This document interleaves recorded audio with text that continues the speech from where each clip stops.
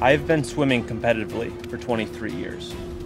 I first got the breaststroke bug when I was 12 years old. All swimmers know the feeling of gliding effortlessly through the water. That is one of my favorite feelings about swimming breaststroke. When you hit a perfect cycle, you feel powerful and efficient. You set your feet on the water and you jump off the water with as much power as you can. Then you tuck your head and hold the glide just for an instant before reaching your arms out and grabbing hold of the water with your hands and repeating it again. Breaststroke is unlike all the other strokes because there's that moment when you do nothing but patiently hold the glide. That is the feeling which makes me love doing breaststroke.